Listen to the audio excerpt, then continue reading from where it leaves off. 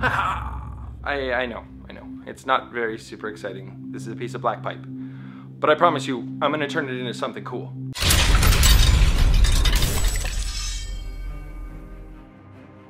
Everybody, welcome back to the workshop. My name's Levi Woods, and today I am super excited because I'm gonna show you how I took a piece of black pipe like this and turned it into my very own medieval flange mace. Let's get over to the bench.